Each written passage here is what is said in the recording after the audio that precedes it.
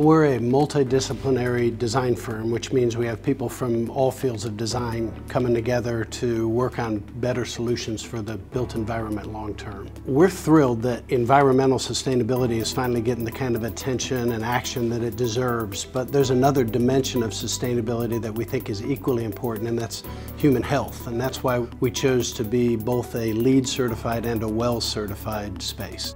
It also includes things like a three-story monumental stair before you ever get to the elevators so that it's easy for you to make the decision to use the stairs all day long.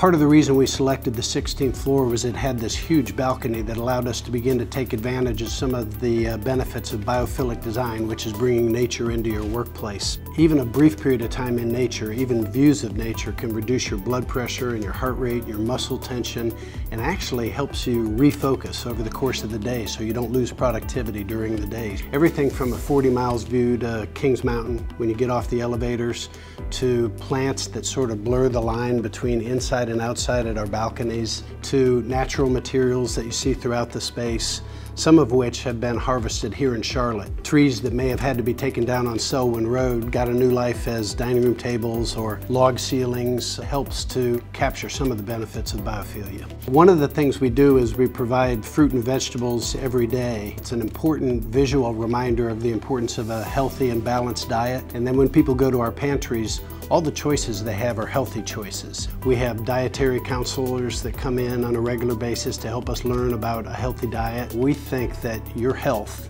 is an important part of our success.